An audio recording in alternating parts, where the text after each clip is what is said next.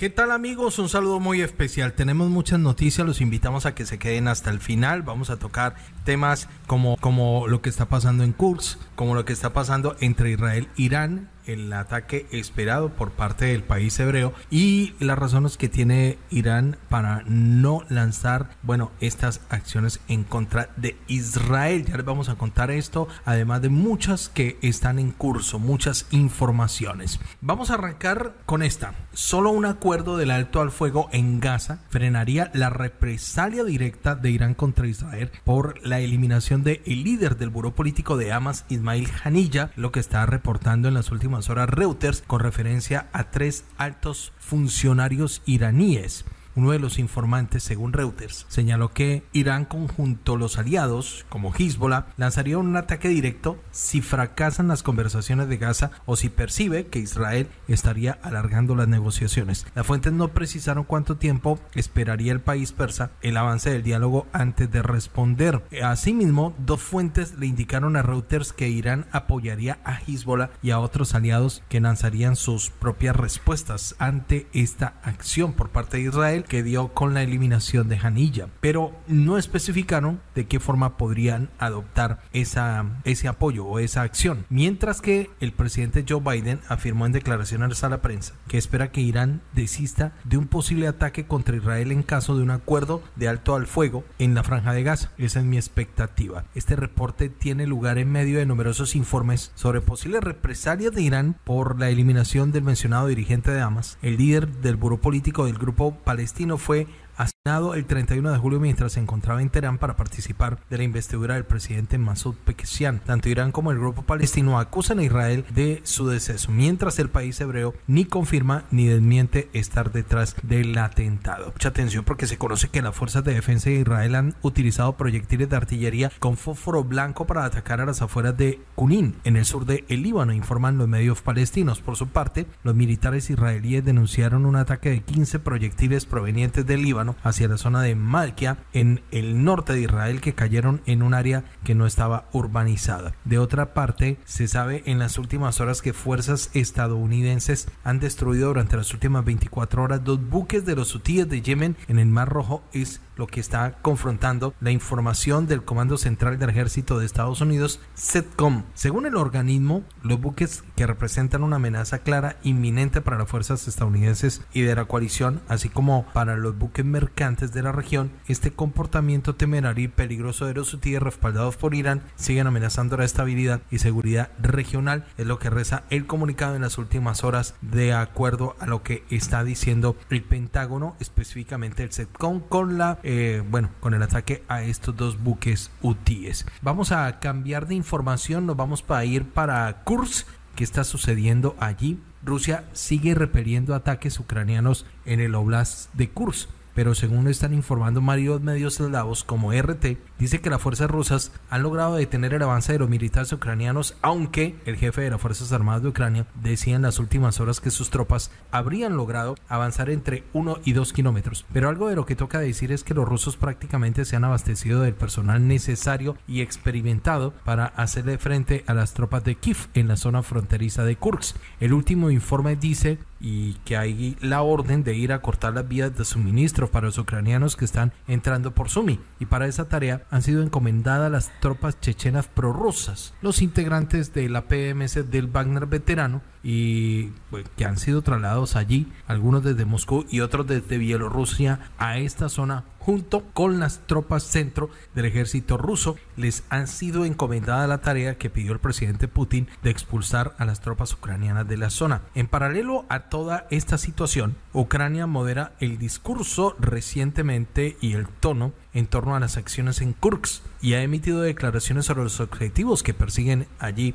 en este oblast. Deja entrever las declaraciones de Kiev que no tienen ningún interés en la provincia de Kursk de retenerlas según las palabras que fueron publicadas por la agencia de noticias Union. Quien lo dice es el portavoz del Ministerio de Exteriores ucraniano Georgi Tilly. El funcionario dice que uno de los principales objetivos que tiene la operación en Kursk es defender el territorio ucraniano de los ataques rusos y asegura que las fuerzas ucranianas cumplen a cabalidad con las leyes y las costumbres de la guerra y con el derecho humanitario, aunque también se debe señalar las acusaciones que se han lanzado desde el Kremlin de que allí las tropas ucranianas estarían atacando a los civiles. Está diciendo a la hora que estamos grabando el video en el diario Avia.pro que en la capital rusa estamos diciendo que allí en eh, la capital de Rusia, en Moscú, se han intensificado las medidas de seguridad ante posibles amenazas, según lo está diciendo el canal de Telegram Basa, en Moscú y la región eh, limítrofe que se lleva a cabo un seguimiento constante con el objetivo de prevenir posibles infiltraciones de sabotaje ucraniano. En ese sentido, en el primer y segundo regimiento especial de policía, así como en las unidades de la Guardia rusa, se han formado reservas diarias en donde hay listas para respuestas inmediatas, sobre todo para proteger al Kremlin de posibles atentados o de algo que pudiera pues poner la vida de Vladimir Putin en peligro. Las fuentes dicen que se han advertido a la policía sobre posibles intentos de arrebatarle las armas en respuesta a esto. La dirección del regimiento especial decidió que los empleados solo podrían entrar en servicio si iban acompañados de colegas experimentados. También se ha reforzado las patrullas y el control. Los empleados del regimiento especial armados con ametralladoras están en servicio junto con los equipos de la policía de tránsito garantizando la seguridad en las carreteras de la ciudad. Seguimos mirando más informaciones importantes que se dan en el contexto de lo que está pasando en Kursk. Esto es lo que hemos encontrado. Habló el presidente de los Estados Unidos, Joe Biden, ha dicho que está pendiente de lo que dicen sus asesores y que está en constante diálogo con Kiev y dice que esto representa un dilema para Putin.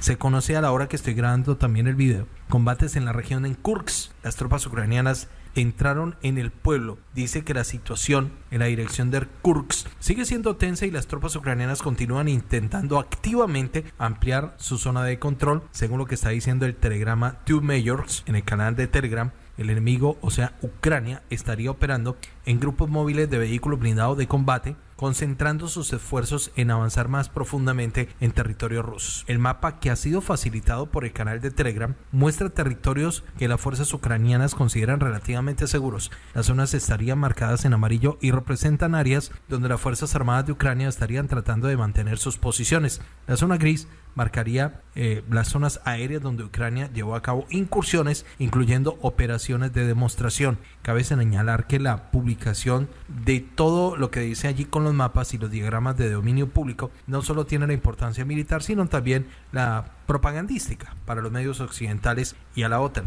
Dicen los editores del diario Avia.pro, el enemigo está tratando de crear la impresión de sus éxitos y la capacidad para mantener posiciones, pero las operaciones militares reales indican muchas pérdidas significativas para el lado ucraniano. La región rusa de Belgorod decretó el miércoles el estado de emergencia. Su gobernador afirmó que la situación continúa siendo extremadamente difícil y tensa debido a los bombardeos de las Fuerzas Armadas ucranianas, que prosiguen su incursión en la región vecina de Kursk. Se destruyen edificios, se hiere y se mata a civiles, así que tomamos esta decisión. A partir de hoy, para asegurar una mayor protección a la población y aportar un respaldo suplementario a las víctimas, se introducirá el estado de emergencia a nivel regional en todo Belgorod. Según los datos recibidos, las fuerzas ucranianas continúan las operaciones de la incursión al este de la aldea de Kauchuk al mismo tiempo, dan información sobre la entrada del enemigo en el pueblo de Spalnoe, lo que indicaría que las fuerzas ucranianas tendrían como objetivo afianzarse en esta zona y continuar con la ofensiva. Las tropas ucranianas estarían intentando romper las defensas rusas en el área de Martinovka, pero han tenido poco éxitos en los últimos días. El enemigo quema sus vehículos blindados de combate en ataques infructuosos a las posiciones rusas, pero continúa instalando tácticas de incursión tratando de capturar aldeas y retenerlas. Además, según este informe, las fuerzas ucranianas continúan intentando avanzar en la dirección de Kromsky Lubimовka con el objetivo de llegar a Kurchatov, intentando sortear los principales nodos de la defensa rusa. Después de casi dos años y medio de guerra, Kiev trata de llevar el conflicto a territorio ruso y el 6 de agosto lanzó una operación a gran escala en la región de Kursk que sorprendió a las tropas rusas. El presidente ucraniano Volodymyr Zelensky aseguró el martes que hay 74 poblados bajo el control de Ucrania y que cientos de rusos fueron hechos prisioneros. Acciones indican que la parte ucraniana estaría tratando de encontrar debilidades de las defensas rusas y crear una amenaza a las instalaciones estratégicamente importantes. Según el corresponsal de guerra, Yuri Kotenov, las tropas rusas continúan su ofensiva en la dirección a Donetsk. Después de la reciente liberación de la aldea de Litsnoye, las fuerzas rusas pudieron tomar el control de Sviridinovka, Actualmente las tropas rusas ya han llegado a las afueras de la aldea de Novotorskoye, lo que indica un mayor avance y fortalecimiento de las posiciones en esta sección del frente. Los expertos están señalando que durante el ataque a la región de Kursk, el enemigo esperaba poder desorientar al ejército ruso y extender las fuerzas a lo largo de la línea del frente. O sea, estamos hablando de Ucrania, según lo que dice este artículo. Sin embargo, a pesar del ataque a las regiones rusas, las Fuerzas Armadas de Rusia continúan llevando a cabo las misiones en el frente. En las últimas horas se está reportando que el ministro de la Defensa de Lituania, en las últimas horas se está reportando que el ministro de la Defensa de Lituania, Laurinas Kasiunas, en su más reciente viaje que hizo a Kiev este martes, dijo que Rusia está trasladando tropas desde Kaliningrado con el fin de reforzar la región de Kursk, mientras que el analista militar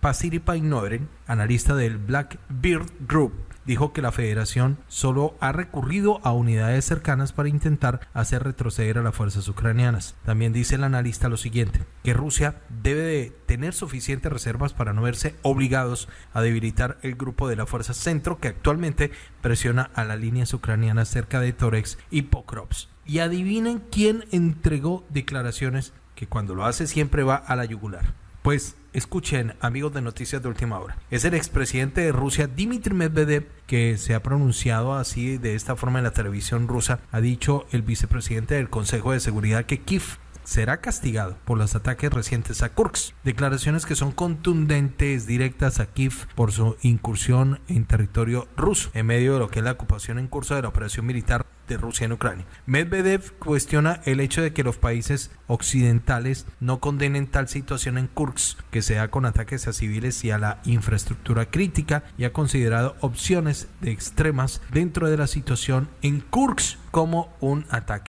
Recientemente, el presidente Zelensky y el comandante adjunto de las fuerzas militares de Ucrania, Alexander Sirsky, aparecen en una videoconferencia. El jefe Sirsky en Ucrania decía que el ejército, las fuerzas ucranianas, han avanzado entre 1 y 3 kilómetros en las últimas horas. Бажаю здоров'я, пане президенту України, Верховний Головнокомандуючий Збройних сил України. Як справи? Угруповання Збройних сил України продовжують ведення операції на території Курської області. За сьогоднішню добу е, наші війська просунулись на окремих напрямках від 1 до 3 кілометрів. Взято е, контроль над 40 квадратними кілометрами території. Aquí están apartes, donde Sirsky le dice a Zelensky que son 74 pueblos que están al control de las fuerzas ucranianas y no 28 como lo dice el gobernador prorruso en el Oblast de Kursk. Хлопців, на наших військових. І я хотів вас також попросити не забувати і продовжувати тренування і розробку наступних важливих ключових кроків. Всі заходи здійснюються відповідно до плану. Добре. Pues esa era parte de la... Seguidamente, Zelensky en esta locución le pide a Alexander Sirsky el plan y le agradece por la operación que va en curso allí en Kursk. Esto ocurre a la hora que estamos grabando el video. En el distrito de Kokolsky, de la región de Voronezh, se produjo un incendio provocado por el ataque de un vehículo aéreo no tripulado ucraniano. Según los datos preliminares, el ataque fue a gran escala y en él participaron al menos 10 drones. A pesar de que los detalles del incidente aún no se han revelado, las consecuencias del ataque de los vehículos aéreos no tripulados podrían ser bastante graves. Se informa que se produjo esto como resultado de la caída de un dron, pero aún no hay información si hay víctimas o la magnitud de la destrucción hasta la hora que estamos grabando el video. Regresando al tema de Kursk, habló recientemente Alaudinov, el general de las fuerzas Akhmat chechenas, y contradice lo que dice el general Sirsky. Según Aludinov, dice que es poco probable que las fuerzas ucranianas avancen más y dice que la guerra del relámpago de Zelensky ya ha terminado y que ya todo está bajo control y dice que la mayor parte del territorio donde se encuentra el enemigo ahora está bloqueado. Cuando dice así es porque se está refiriendo a que están embolsados los ucranianos. Generales estadounidenses orquestaron la operación de Kiev en la provincia rusa de Kursk y en ella participaron mercenarios extranjeros,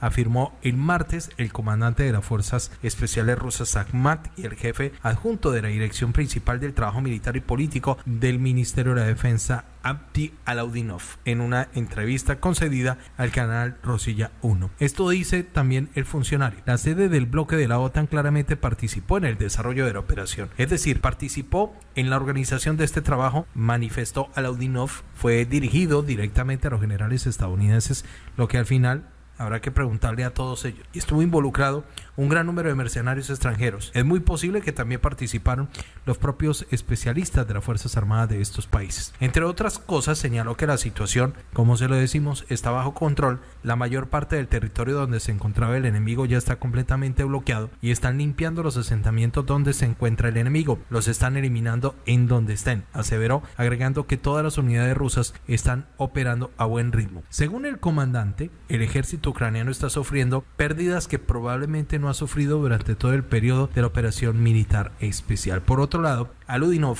declaró que los cazas F-16 enviados a Ucrania serán destruidos. Siguen hablándonos de estos F-16. Bueno, vale, llegarán estos F-16 y los quemaremos igual que los otros aviones que tienen, aseguró. Por su parte, el Ministerio de la Defensa ruso reportó el martes que la operación para destruir unidades de las Fuerzas Armadas de Ucrania continúa durante las últimas 24 horas, en donde se habla se detuvieron intentos de grupos móviles enemigos de penetrar vehículos blindados en lo profundo del territorio ruso en cuatro distritos de la provincia reza el comunicado. Las autoridades de Ucrania han hecho una lección inequívoca a favor de una escalada y de nuevas hostilidades con el ataque de las Fuerzas Armadas contra la región en Kursk. Esto fue lo que declaró el representante permanente adjunto de Rusia en las Naciones Unidas, Dmitry Polyansky. Esto lo dijo durante una reunión informal de la organización internacional.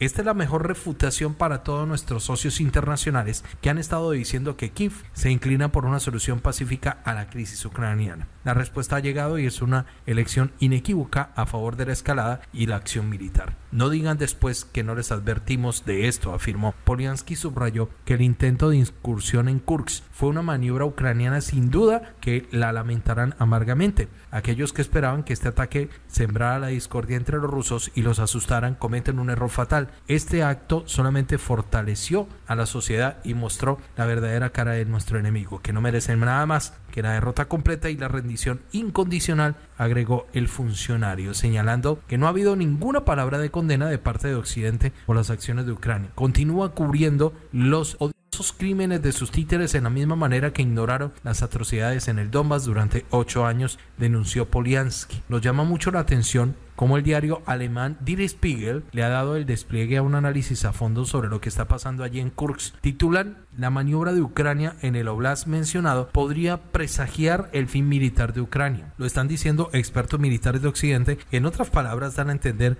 que lo que está haciendo Ucrania podría tomarse como un desgaste y un despropósito. Según este análisis, amigos, dan a entender que las acciones de Ucrania en Kursk gana terreno en lo mediático porque vende una victoria momentánea sobre Rusia. Pregunta para usted ¿esta batalla en Kursk puede cambiar la realidad del el conflicto ahora mismo? Espero sus comentarios en la cajita de respuestas. Según este artículo del diario alemán Die Spiegel, dice que las tropas ucranianas se enfrentan a diversos problemas tras el asalto inicial de las fuerzas ucranianas que según los expertos, tras conseguir tomar el control de los kilómetros mencionados a 40 kilómetros en el casco, de avanzar y expandir el control se vería forzada Ucrania a trasladar fuerzas y reservas de su línea del frente, algo que sería muy desfavorable para la dinámica de Ucrania. También aquí mencionan el hecho de tener poca artillería de aviación, algo que es verdaderamente un problema para la hora de enfrentar a los rusos en igual de condiciones, teniendo en cuenta que también le fue difícil entrar, cómo lo harán para sostener esa tierra que han tenido ya ahora el control y poder salir allá, allí en Kursk, incluso con vida. Otro de los puntos que analizan los expertos es que los rusos le han tendido prácticamente un embolsamiento a las tropas regulares y experimentadas de Kiev,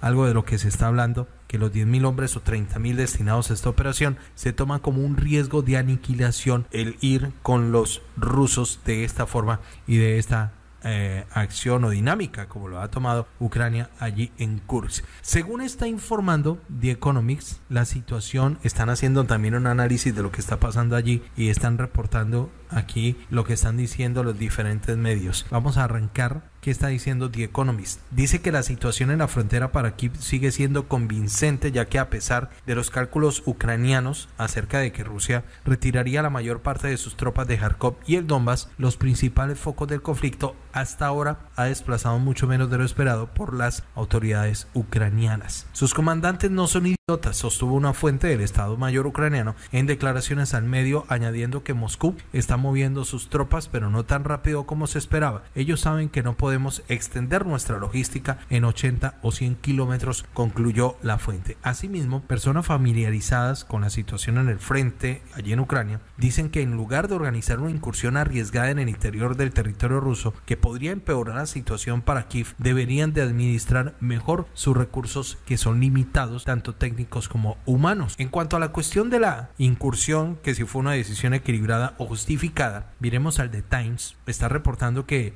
el líder de Kiev, Vladimir Zelensky, está desesperado por repetir la narrativa de que Ucrania está perdiendo, tomó probablemente la decisión más arriesgada, dispuesto a exponer tanto a las unidades militares como a equipos valiosos de Ucrania. Zelensky estaría tratando de encontrar una manera de detener o revertir esta dinámica, señala el medio, calificando lo que está pasando allí en Kursk como una incursión audaz pero arriesgada. También añade que el alargamiento de la línea del frente es beneficioso en primer lugar para las tropas rusas, que superan a las de Ucrania en armas, municiones y personal. En su opinión, el efecto sorpresa del ataque amenaza con volverse rápidamente contra Kiev. Mientras tanto, el periodista de la revista Bill, Julian Rook, afirmó que no logra comprender la estrategia ucraniana en el ataque al territorio ruso, porque si tienen 5.000 militares, así como equipamiento entonces, ¿por qué no atraviesan el frente ruso en Kharkov, Luhansk, Donetsk o Zaporilla? Cuestionó insistiendo que tarde o temprano las tropas ucranianas tendrían que retirarse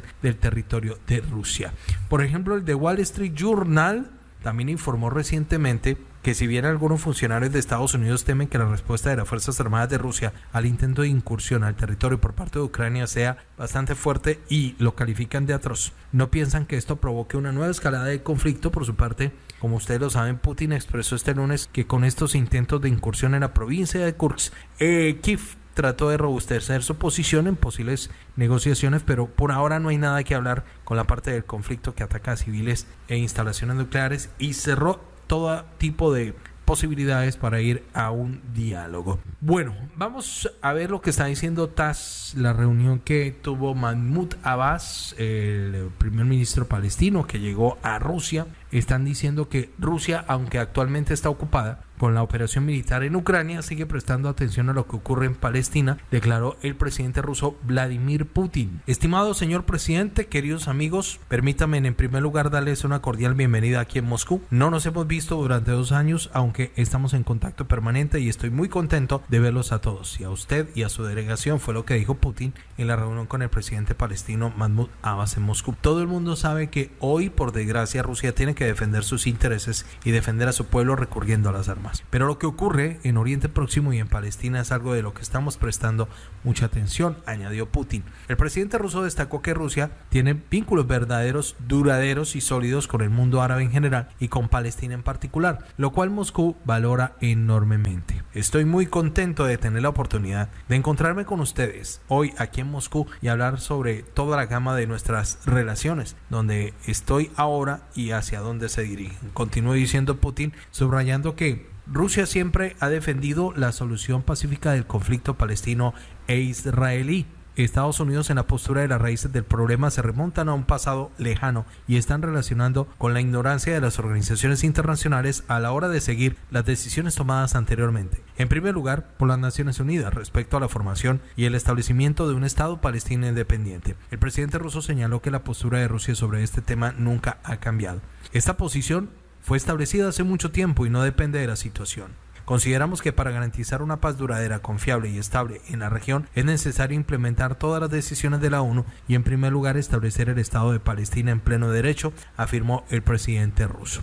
Recordemos que las tensiones estallaron el 7 de octubre de 2023 cuando militantes del movimiento palestino Hamas con sede en la franja de Gaza organizaron el ataque sorpresa contra el territorio israelí desde Gaza, eliminando a residentes de asentamientos fronterizos israelíes y tomando más de 240 rehenes, entre ellos niños y mujeres. Hamas describió el ataque como respuesta a sus acciones agresivas de las autoridades israelíes contra la mezquita Al-Qassam en el monte del templo en la ciudad vieja de Jerusalén y en respuesta Israel eh, lanzó la operación militar en el cóncavo palestino para destruir a las salas militares y políticas de Hamas y liberar a todos los rehenes. Otra ronda de escalada en Medio Oriente siguió con la muerte violenta del jefe del buró político de Hamas, Ismail Haniyeh, en Teherán y la eliminación del comandante militar de Hezbollah, Fuad Skur, en Beirut. Irán y Hamas y Hezbollah responsabilizan a Israel y afirman que los ataques serán respondidos con represalias. Bueno, cerramos con que el eh, Anthony Blinken tenía